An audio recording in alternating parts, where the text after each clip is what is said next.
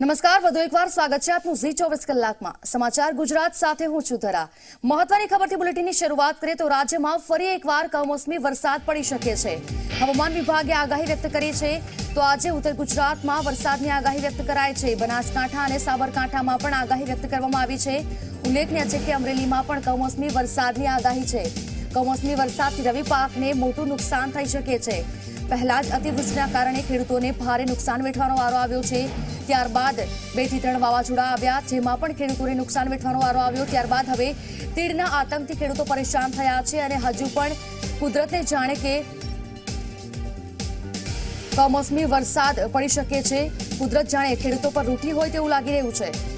તો રાજ્યના ખેડૂતો પર છઠ્ઠી વખત આફત વરસી શકે છે. આકાશી આફતની આગાહી કરવામાં આવી છે. કમોસમી વરસાદથી રવિ પાકને નુકસાન થઈ શકે છે. હવામાન વિભાગે કમોસમી કમોસમી વરસાદની આગાહી વ્યક્ત કરી છે.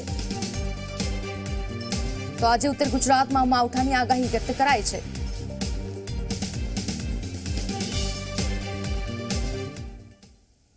અને હવે વાત કરીએ તીડના તરખાટની.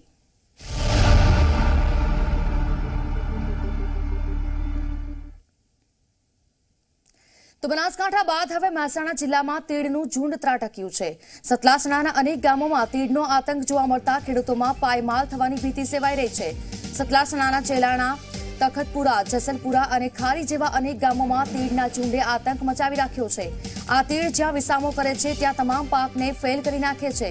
તીડને રોકવા માટે હાલ સતલાસણા તાલુકાની ચાર ટીમોને કાર્યરત કરવામાં આવી છે અને સતલાસણાના ખેડૂતો રાજ્ય સરકાર આ મામલે ત્વરિત યોગ્ય પગલાં લે તેવી માંગ કરી રહ્યા છે.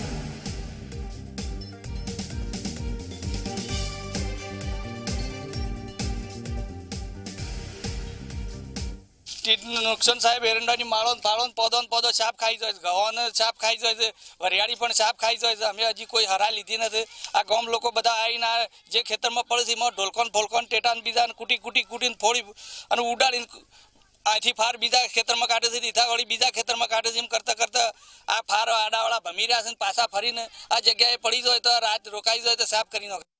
સાહેબ તીડનો આતંક એવો છે, ફાર જો પડે છે ને, એ સાફ બધું મૂકી દે છે. અને તીડ હાલ અમાર લોડીઓ તગારો કે ઢોલક જે ગમે તે કૂટીએ છીએ તેનાથી ઉડીને અધર ઉડી જાય છે, પણ તોય પડે છે ને તે બધું નુકસાન કરે છે. તે વરિયાળીને ડુંખોણો બુંખોણો બધું સાપ ખાઈ જાય છે. બનાસકાંઠા જિલ્લામાં તો એવા મહેસાણા જિલ્લામાં પ્રવેશ કરીને ઉપર અમારા ખેતરોમાં હાલ બેસી જવાની શક્યતા છે. અંધારું પડશે તો એ બેસી તો તે સાફ કરી નાખશે. અત્યારે હાલ તો અમે લોળીઓ તગારો, ઢોલક જેવું કૂટી અને કાઢીએ છીએ તો ઉડે છે, પણ વળી બેસી જાય તો આખી રાતમાં બધું સમાપ્ત કરી નાખશે. તો આ સાથે આગળ વાત કરીએ તો તીડ મામલે ડેપ્યુટી સીએમ નીતિન પટેલ દ્વારા મહત્વનું નિવેદન આપવામાં આવ્યું છે. બનાસકાંઠા જિલ્લા આપણો પાડોશી જિલ્લો છે. તે જિલ્લામાં પહેલા જ આ તીડનો આતંક દેખાયો હતો અને તેને નષ્ટ કરવામાં આવ્યો છે. મહત્વનું છે કે તીડના આતંકના મામલે ગ્રામ સેવક સહિત સમગ્ર કૃષિની ટીમ હાલમાં બીજી વખત કામે લાગી છે. તો પાંચ દિવસમાં તીડ દેખાયા છે. ફરીવાર તીડનો નાશ મામલે આયોજન કરવામાં આવી રહ્યા છે. દવા સહિત ને તેના નાશ કરવા માટે આયોજન કરી રહ્યા છે. તમામ ટીમ કામે લાગી છે. તો લાખોની સંખ્યામાં તીડનો નાશ કર્યો હતો. ફરીવાર તીડ દેખાયા છે. તે જોતા ખેડૂતોના પાકને રક્ષણ મામલે તજવીજ કરવામાં આવશે. નીતિન પટેલ ખેતીવાડી અધિકારીઓ જે રીતે માર્ગદર્શન મળશે, તે રીતે કામ કરવામાં આવશે તેવું નીતિન પટેલે જણાવ્યું છે. કમનસીબે તાજેતરમાં છેલ્લા પાંચેક દિવસથી ફરીથી બનાસકાંઠામાં તીડનું આક્રમણ થયું છે અને મોટા પ્રમાણમાં તીડ એ ખેતીવાડીને જે પાક ઉગ્યો હોય એને અત્યારે નુકસાન કરી રહ્યા છે. ફરીથી ખેતીવાડી વિભાગ સક્રિયતાથી આ તીડોનો નાશ કરવા માટે અનેકવિધ આયોજનો કરી રહ્યું છે. એમાં દવા છંટકાવ, અન્ય પ્રકારની વ્યવસ્થા, અવાજ કરીને તીડીને ભગાડી દેવા, ઉડાડી દેવા અને પાકનું રક્ષણ કરવું, આ બધું જ મોટા પ્રમાણમાં કરવામાં આવી રહ્યું છે. પણ જ્યારે એક સાથે એક જ વિસ્તારમાં લાખો તીડોનું આક્રમણ થાય, ત્યારે સ્વાભાવિક છે કે એને પહોંચી વળવું તાત્કાલિક અઘરું હોય છે.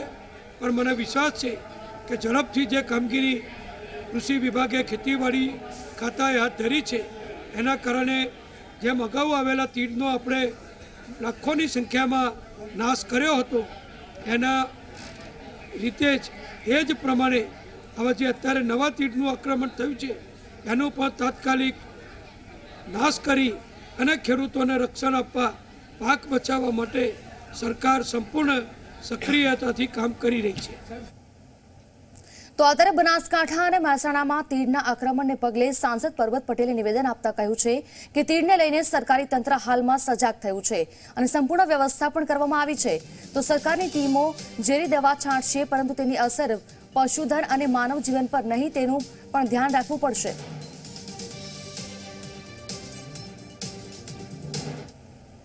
જે તીડ નિયંત્રણ વિભાગ, સરકારનો કૃષિ વિભાગ, મિત્રો, ખૂબ સતર્કતાથી કામ કરે છે અને સરકારે એમાં ખૂબ સતર્કતા દાખવી છે. એટલે લગભગ તીડોનું પ્રમાણ ઘટી રહ્યું આ વખતે ખેડૂતો પર કુદરત રૂઠી હોય તેવું લાગી રહ્યું છે. સતત કમોસમી વરસાદ, ત્યારબાદ તીડનો ત્રાસ અને આ લીલી ઈયળો હવે ખેડૂતોના ઊભા પાકનો સફાયો કરી રહી છે. ત્યારે શું કહી રહ્યા છે પાટણના ખેડૂતો? આવો જોઈએ આ અહેવાલમાં.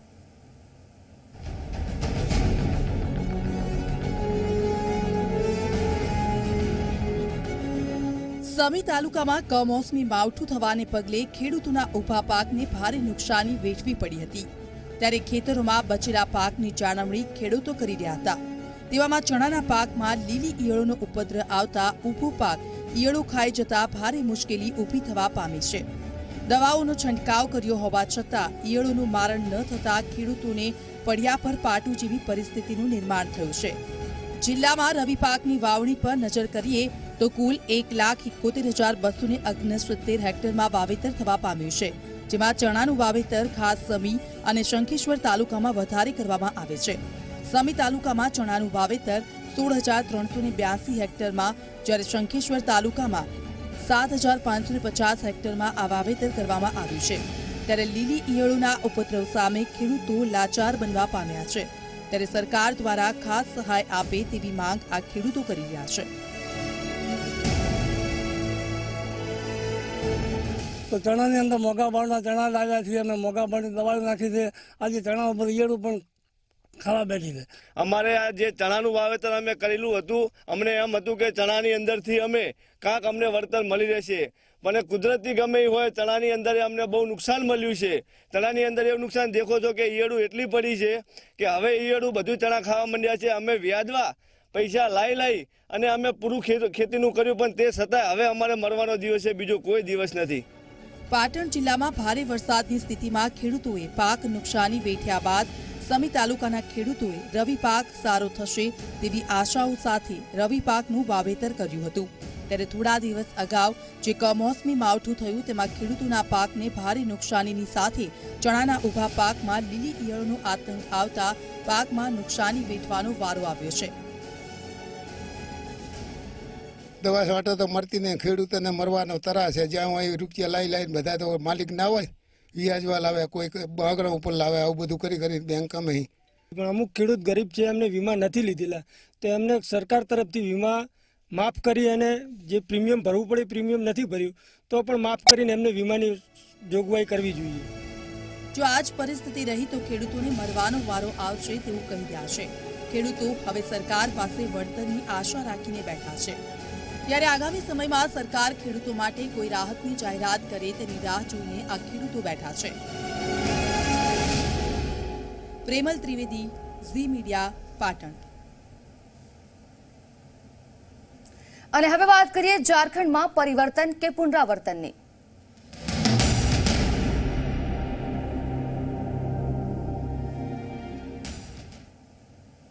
તો આજે ઝારખંડ વિધાનસભા ચૂંટણીનું પરિણામ આવશે. મહત્વનું છે કે ઝારખંડમાં સત્તા પરિવર્તન થશે કે પુનરાવર્તન થશે તે મામલે સૌથી મોટો સવાલ છે. એક્યાસી સીટ માટે સવારે આઠ વાગ્યાથી મતગણતરી હાથ ધરવામાં આવશે. તો ભાજપના રઘુવર દાસ છે હાલમાં ઝારખંડના સીએમ.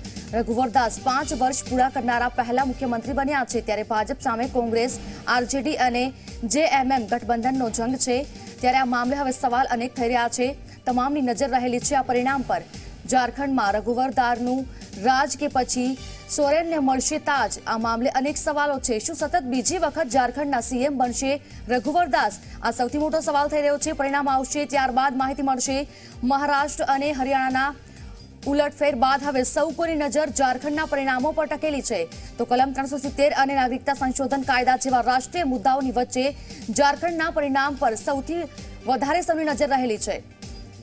ત્યારે હવે એક્યાસી સીટો માટે આઠ વાગ્યાથી મત ગણતરી શરૂ થવાની છે. ભાજપના રઘુવર છે, હાલ ઝારખંડના સીએમ, પરંતુ રઘુવર પાંચ વર્ષ પૂરા કરનારા પહેલા મુખ્યમંત્રી બન્યા છે. તેઓ ફરી સત્તામાં આવશે કે પછી સત્તાનો તાજ? બીજા કોઈને મળશે? આ મામલે સૌથી મોટો સવાલ છે. આગળ વાત કરીએ, ગાંધીનગરમાં આજે નર્સિંગ કર્મચારીઓની હડતાલ છે. પગાર વધારાની માંગ સાથે કર્મચારીઓના ધરણા પે સ્કેલમાં વધારો કરવાની નર્સિંગ કર્મચારીઓની માંગ છે. તે મામલે ધરણા કરવામાં આવશે.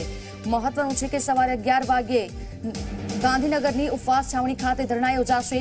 અગાઉ આરોગ્ય કર્મચારીઓ કરી ચૂક્યા છે હડતાલ. અનેકવાર રજૂઆત કરવામાં આવી છે, છતાં પણ પે સ્કેલ વધારવામાં ન આવ્યો, જે મામલે હવે હડતાલ કરવાનો માર્ગ નર્સિંગ કર્મચારીઓએ અપનાવ્યો છે. ત્યારે આજે ગાંધીનગરમાં ઉપવાસ છાવણી ખાતે ધરણા યોજાશે. અગાઉ આરોગ્ય કર્મચારીઓ કરી ચૂક્યા છે. પે સ્કેલ વધારવાની માંગ સાથે હડતાલ. સંવાદદાતા હિતલ પારેખ ફોનલાઈન પર જોડાયા છે. હિતલ, જણાવશો, આજે ગાંધીનગરમાં નર્સિંગ કર્મચારીઓ હડતાલ પર ઉતરશે. શું માહિતી મળી રહી છે? કઈ કઈ માંગો છે? જી, ચોક્કસ એવું કહી શકાય કે નર્સિંગ કર્મચારીઓની લાંબા સમયની પડતર માંગણીઓ અને ખાસ કરીને જોવા જઈએ તો પે સ્કેલમાં સુધારોની જે માંગણી છે એ માંગણીને લઈને પ્રતિક ત્રણ આજે ઉપવાસ છાવણી પર કરવાના છે. સવારે અગિયાર વાગ્યાથી તેઓ સાંજના પાંચ વાગ્યા સુધી ઉપવાસ છાવણી પર બેસશે ચોક્કસ પે સ્કેલમાં સુધારો કરવા જોઈએ અને કોન્ટ્રાક્ટના કર્મચારીઓ છે તેમના માટે પે સ્કેલમાં તાત્કાલિક સુધારો કરવાની માંગણી સાથે આ ઉપવાસ છાવણી પર ઉપવાસ કરવામાં આવી રહ્યા છે. જી. જી, હિતલ, આભાર આપનો.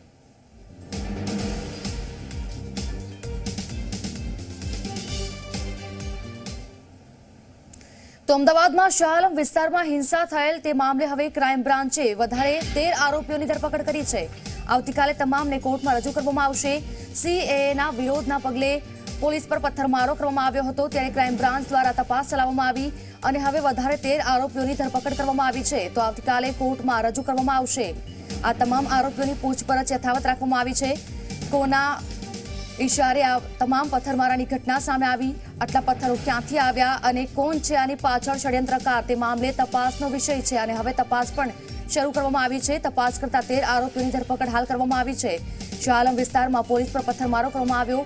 મારામારીની ઘટના બની.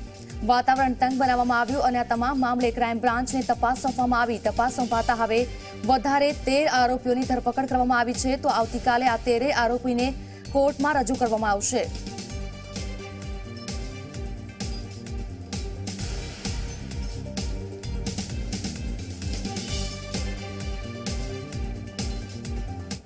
તો અમદાવાદ પોલીસમાં પથ્થરમારો કરવામાં આવ્યો અને ત્યારબાદ હવે પંદર આરોપીઓને ક્રાઇમ બ્રાન્ચે મેટ્રો કોર્ટમાં રજૂ કર્યા.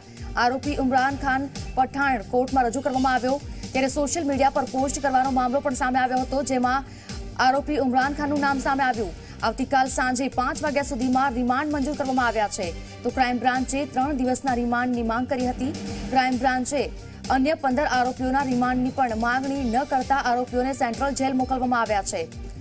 તો પથ્થરબાજોને શોધી કાઢવા માટે સીસીટીવી ફૂટેજ ચેક કરવામાં આવ્યા અને ત્યારબાદ જે આરોપીઓ પકડાયા છે, તેમાં પઠાણ ખાનનું નામ પણ સામે આવ્યું છે. પઠાણ ખાને સોશિયલ મીડિયામાં એક વીડિયો પણ વાયરલ કર્યો હતો. તે મામલે હવે રિમાન્ડ મંજૂર કરાયા છે. આવતીકાલે સાંજે પાંચ વાગ્યા સુધીના રિમાન્ડ મંજૂર કરાયા.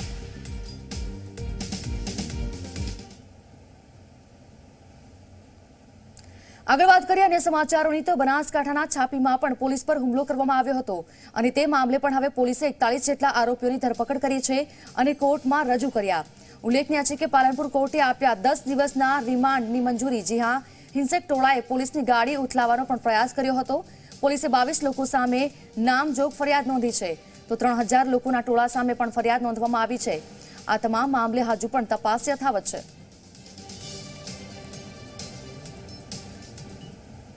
તો વડોદરામાં હાથીખાના વિસ્તારમાં પણ પોલીસ પર પથ્થરમારો કરવામાં આવ્યો, જે મામલે પોલીસે સોળ જેટલા આરોપીઓની ધરપકડ કરી છે. નેવ લોકોના ટોળા સામે ગુનો દાખલ કરવામાં આવ્યો છે, તો પથ્થરમારાની ઘટના પૂર્વાયોજિત હતી તેવું પોલીસે જણાવ્યું.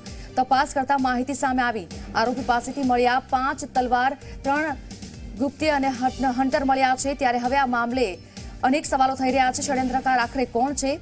સીસીટીવી અને પથ્થરબાજુના મોઢા પર રૂમાલ પણ બાંધ્યા હતા. કેટલાક લોકોએ પાણીની ડોલ પણ ભરી રાખી હતી તો આશ્રય આપનારા આરોપીઓને પોલીસે ધરપકડ કરશે તેવી માહિતી પણ સામે આવી રહી છે અને હજુ પણ આ મામલે તપાસ કરવામાં આવી રહી છે. આખરે આ તમામ ષડયંત્ર કોના દ્વારા રચવામાં આવ્યું?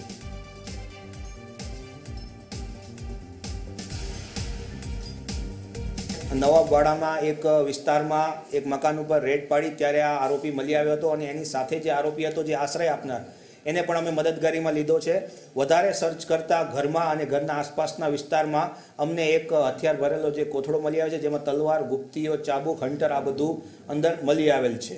નાની એવી બાબતમાં આખો પથ્થરમારો કરવો સીસીટીવી એના ડેટા બધા ડિલીટ કરી દેવા, એંગલ ફરાવી દેવા, આશ્રય બીજી જગ્યાએ આપવો. તો આ કોઈ, એવું નથી કે કોઈ ત્વરિત ઘટના કે સ્પોન્ટેનિયસ કોઈ ઇસ્યુના કારણે પથ્થરમારો થઈ ગયો.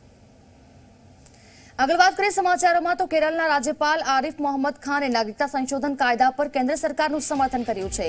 આરિફ મોહમ્મદ ખાને સીએએ કાયદાને લઈને કહ્યું છે કે કોંગ્રેસના એકસઠ વર્ષ જૂના વચનને મોદી સરકારે પૂરું કર્યું છે. વધુમાં તેમણે કહ્યું છે કે મોદી સરકારે એ જ કર્યું છે જે કોંગ્રેસે ઓગણીસો અઠ્ઠાવનમાં અને બે હજાર ત્રણમાં વચન આપ્યું હતું. કેરળના રાજ્યપાલે કહ્યું કે મોદી સરકારે મહાત્મા ગાંધી, પંડિત જવાહરલાલ નહેરુ અને કોંગ્રેસે દેશને આપેલું વચન પૂરું કર્યું છે.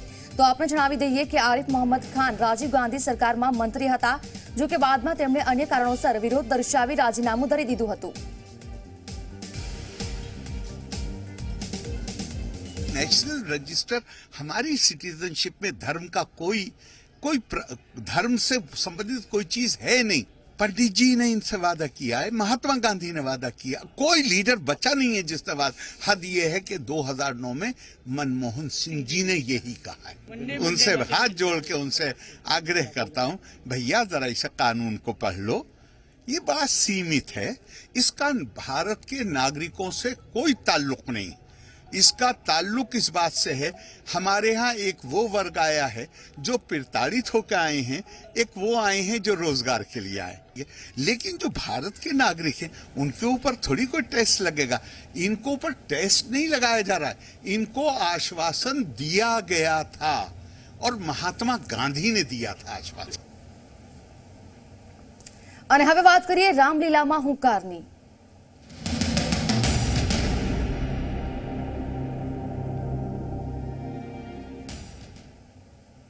તો પ્રધાનમંત્રી નરેન્દ્ર મોદીએ દિલ્હીના રામલીલા મેદાનમાં મહારેલી સંબોધી અને વિપક્ષ પર આકરા પ્રહારો પણ કર્યા.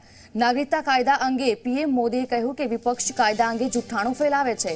અને જો મોદીની નફરત હોય તો મોદીના પુતળાને જૂતા મારો, પુતળાને સળગાવો, પરંતુ ગરીબની ઓટો રિક્ષા કે ગરીબની ઝૂંપડી ના સળગાવો. પીએમ મોદીએ વધુમાં કહ્યું કે વિપક્ષે દેશને અરાજકતામાં ધકેલવાનો નિષ્ફળ પ્રયાસ કર્યો છે પ્રજા હવે બધું સમજી ગઈ છે નાગરિકતાના કાયદા વિશે પીએમ મોદીએ વધુમાં કહ્યું ઘૂસણખોરો ક્યારેય તેમની ઓળખવા ઓળખાણ થવા દેતા નથી અને શરણાર્થી તેમની ઓળખાણ છુપાવતા નથી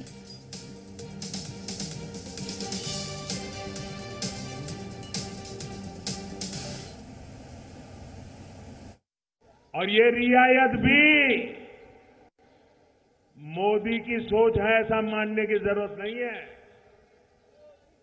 ये रातों रात मोदी को विचार आ गया, इसलिए मोदी ने कर दिया, ऐसा नहीं है। ये रियायत महात्मा गांधी की भावना के ही अनुरूप है, जो महात्मा गांधी को लेकर के देश पर बातें करते रहे हैं। और आज भी गांधी सरनेम का फ़ायदा उठाने की बातें करते हैं। जरा वो कान खोल करके सुन लो। महात्मा गांधी ने क्या कहा था? महात्मा गांधी जी ने कहा था कि पाकिस्तान में रहने वाले हिंदू और सिख साथियों को जब लगे कि उन्हें भारत आना चाहिए तो उनका स्वागत है। यहाँ दिल्ली में ही मजनू का टीला में दो हफ़्ते पहले ही, ऐसे ही एक शरणार्थी के कैंप में एक बिटिया का जन्म हुआ और उसके माँ बाप ने उस बेटिया का नाम नागरिकता रख लिया, नागरिकता। शहरों में रहने वाले कुछ पढ़े लिखे नक्सली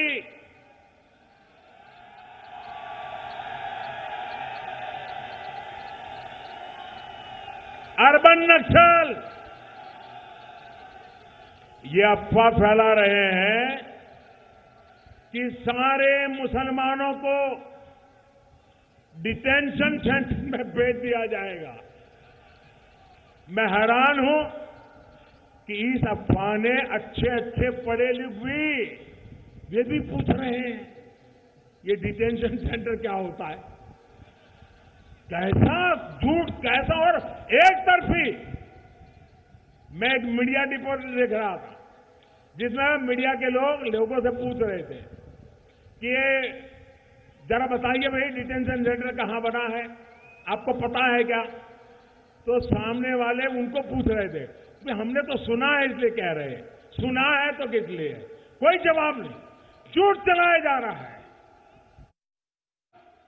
जिन पुलिस वालों पर ये लोग पत्थर बरसा रहे हैं, उन्हें जख्मी कर रहे हैं। मैं जरा इन तूफानियों से पूछना चाहता हूँ। इनके आंदोलनों का नेतृत्व कर रहे पर्दे के पीछे मुँह छिपाकर खेल खेल रहे लोगों से। पूछना चाहता हूँ कि पुलिस के जवानों को अपनी ड्यूटी करते समय जो हिंसा का शिकार होना पड़ रहा है, उनको मारा जा रहा है। क्या मिलेगा आपको? તો આ તરફ નાગરિકતા કાયદા મુદ્દે કથાકાર રમેશભાઈ ઓઝાએ પણ વ્યાસપીઠ પરથી આપ્યો છે આદેશ. મધ્યપ્રદેશના ગયા ખાતે ચાલતી ભગવત સપ્તાહ સમયે આપ્યો સંદેશ. ફક્ત નવો કાયદો લાવીને દેશમાં સુવ્યવસ્થાનો પ્રયાસ છે અને એમાં પણ રાજનીતિ કરાઈ રહી છે. બસો સળગાવવામાં આવી રહી છે વિદ્યાર્થીઓનું બસો સળગાવવાનું કાર્ય છે આવું કાર્ય તો ગુંડાઓનું હોય છે સરકારી સંપત્તિ સળગાવવાનો ગુસ્સો આવતો હોય તો કેમ પોતાનું ઘર નથી સળગાવતા તેવું જણાવ્યું દેશના ગૃહમંત્રીએ સાચું જ કહ્યું છે કે ઘૂસણખોરોએ તો નીકળવું પડશે बसें जलाना सरकारी संपत्ति को नुकसान पहुंचाना इतना गुस्सा आ गया तू बस जलाने लगा जलानी थी तेरी अपनी बाइक क्यों नहीं जलाई इतना गुस्सा आ गया था अपने घर में आग क्यों नहीं लगाई तू राष्ट्रीय संपत्ति को ही जला रहा है। यह कोई विरोध का तरीका है? और तुम्हें चिंता क्यों हो रही है? जब कहा जा रहा है कि इस देश के नागरिक को कोई चिंता करने की आवश्यकता नहीं। लेकिन जो घुसपैठ ये हैं, उन्हें तो बाहर करना होगा। તો ગાંધીનગરમાં મળેલી ભાજપની બેઠકમાં મુખ્યમંત્રી વિજય રૂપાણીએ નાગરિકતાના કાયદાને લઈને લોકોની વચ્ચે જવા આગેવાનોને સૂચના આપી છે. કોલેજો યુનિવર્સિટીઓમાં યુવા મોરચાના માધ્યમથી જનજાગૃતિ લાવવા સૂચનો આપ્યા છે.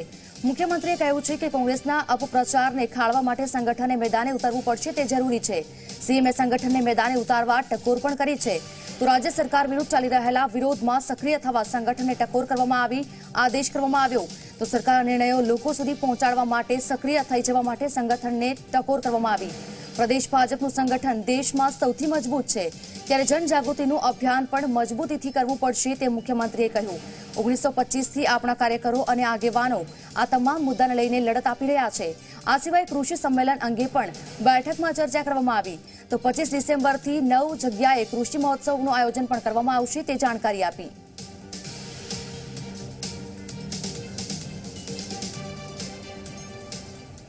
ભાગ લેશે અને સાચી વાત, એક ધકારાત્મક પ્રચાર, એ એન કેન પ્રકારે જનમાનસમાં ઘુસાડવાનો પ્રયાસ થઈ રહ્યો છે ત્યારે એક સકારાત્મક વાતાવરણ ઊભું થાય, સાચું વાતાવરણ ઊભું થાય, હકીકતો લોકો સુધી પહોંચે અને સમર્થનમાં પણ કરોડો લોકો. એ છે. લોકોના મનમાં એ પડેલું છે આ દેશ હિતનો નિર્ણય છે, દેશ માટેનો નિર્ણય છે. નરેન્દ્રભાઈ, અમિતભાઈએ લીધેલો નિર્ણય, ભાજપની સરકારે લીધો નિર્ણય. એ વ્યાજબી થયેલો કાર્યક્રમ થવાનો છે? તો આ સાથે સમાચાર ગુજરાતમાં અત્યારે બસ આટલું જ. દેશ અને દુનિયાની તમામ ખબરો માટે આપ જોડાયેલા રહો ઝી ચોવીસ કલાક સાથે. નમસ્કાર.